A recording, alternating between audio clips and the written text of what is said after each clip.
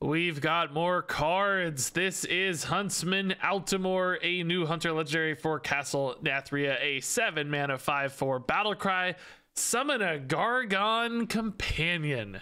Well, what the heck is a Gargon Companion, Regis? Well, it's an animal companion that's a beast, but they have different names. There's he cute is Hecutis Barghast and Margore. They're all Gargons, and yeah, they're just the animal companions that have been uh, given a fresh coat of paint. So you know and love these effects. I'm not going to spend too much time talking through these, but uh, with Huntsman Altimor, that's what he's going to give it base, just one animal companion. So a 5-4 and a you know, equivalent to 3 mana minion. Then if you infuse four, which again, just a reminder as always, that means if while this is in hand, four friendly minions have died, he'll upgrade and he'll summon a second Gargon companion. And in this case, they will be unique. It's already been confirmed on Twitter. The dev said that you'll get two different ones, much like uh, To My Side back in the day would always give you two different ones. And then finally, if you infuse another four, this is not 12 total, it's eight total. Each step is four. Then you'll get a third animal companion, in which case, excuse me, Gargon companion, in which case you'll have all three Gargons seen here, much like uh, Call of the Wild, the old card used to do for eight mana. And uh, clearly, you know, getting all four of these for seven mana feels good. That's better than a card that got nerfed many years ago. Is Call of the Wild still a totally insane card that would be nerf worthy?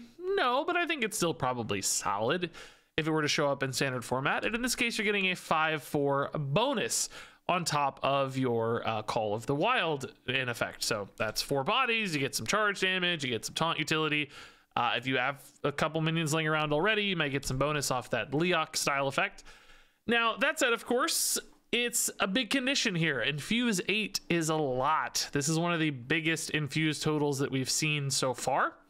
And I think the difference here from a fully infused Altimor to a baseline Altimor is really substantial.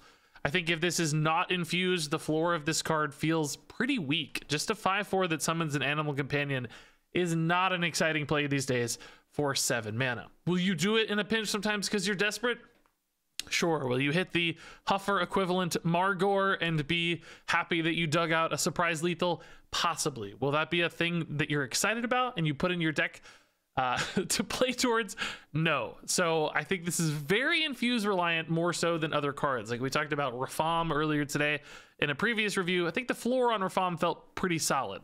If you play that off a top deck, non infused state, you're happy with it. Altimor, I think you're far less excited.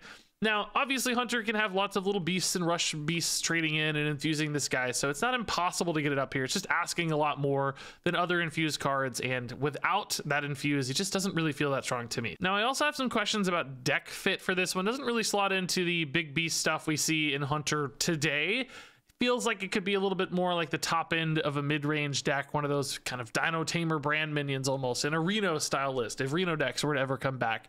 It's it's kind of one of those cards that lingers near the bottom of your 30 slash 40 card deck, and it's it's like okay, yeah, we'll toss in an Altimor. It's okay. I'm just not thrilled about it, right? It's it's probably gonna be a sort of fringe card in a fringe deck best case scenario. I next up here we have the Demolition Renovator, a new four mana four four with battle cry, destroy an enemy location. So we actually have a location tech card because locations are a new card type. They don't interact with things that affect spells or minions, but as you can see, it is indeed possible and in fact confirmed that we're going to get location answers and things interact specifically with locations. If your opponent has a really spooky location, this might give you an opportunity to disrupt that, remove any kind of setup or game plan they were looking to uh, develop. Now, at the moment, none of the location cards look terrifying enough to me that they demand removal. They have, you know, moderately strong effects on occasion, but you'd probably just rather deal with the result or set up some cool play of your own as opposed to what here feels like a pretty expensive for a tech card and it's not especially swingy it doesn't like gain stats or anything it straight up just removes the location. I think the highest cost location right now is actually just three mana so you can tell the total swing here from a mana standpoint is not especially high for the Renovator. And for tech cards to succeed lately, they've all needed tradable. That's what's made tech cards good. Things like Rustrod Viper work because of tradable in matchups where you don't need them or scenarios where you don't need them. You just trade it out and you're cool with it. Without this having tradable, because it's not a Stormwind card, I just don't know. It's going to be really hard for decks to squeeze this in. All right, next up we have the Dispossessed Soul. Not only uh, cards that remove locations, but cards that synergize with locations here. This one's a 4 mana 4 5 neutral. Battle Cry if you control a location, discover a copy of a card in your deck. And I love that we're getting things that interact with locations. Remember, locations as a card type are not only in this expansion, they're going to be printed in the future. They said they'll be more common than hero cards, but less common than weapons. So we'll see more of those. And given that this is a neutral card, that means there's a lot of opportunities, both now and in the future, for decks to toss this in. And I think it has a pretty powerful effect here. We know that getting extra copies of things that you care about in your deck, say some legendary card where normally you'd be limited to one, this might give you extra versions of it, extra copies of it, and that can be a really impactful thing. If it's some really high output card, we see that with Moonlit Guidance and Druid. That card is absolutely everywhere. Now, Moonlit Guidance does draw you to very often if you play the original that turn, but not always. Sometimes it's just about finding the right thing and getting that thing twice even if you don't get it immediately twice. And Dispossessed Soul still allows you to do that. Now, it comes with overhead here. It's four mana instead of two, but you get a body for it as well. You get that Yeti tossed in here as well for the effect. So you're not totally taking a downturn when you play the Dispossessed Soul. So will there be, you know, Dispossessed Souls everywhere? No, of course not. You have a couple boxes to check here Number one, you have to be a deck that cares about locations. You got to have the locations. Number two, uh, you got to have things you want to copy. This has to be more efficient than just raw card draw. You need probably specific things you're looking to duplicate or pull out of the deck as quickly as possible. It's not a raw card draw card. Many decks will just favor drawing lots of things and finding the things they need instead.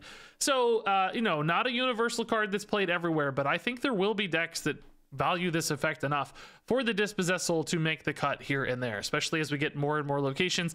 This kind of card just is like, oh yeah, okay, dispossessed soul makes sense. Yeah, that'll be a fine way to cap off this deck, uh, making it a reasonably solid card. Huntsman Ultimore is a three-star card. Demolition Renovator is a two-star card. Dispossessed Soul is a three-star card. And there you go, folks. That wraps it up for this review. Just a handful of cards this time, but uh, still nice to see all the legendaries. I gotta say, I'm not super in love with the like effective Huntsman Ultimore, but he looks sick. That is a cool character, and I didn't include them here, but the infused versions actually look even sicker. This guy's going to be an awesome looking card because he has three different pieces of artwork. Actually, really six if you count the new animal companion. So a lot went into this card.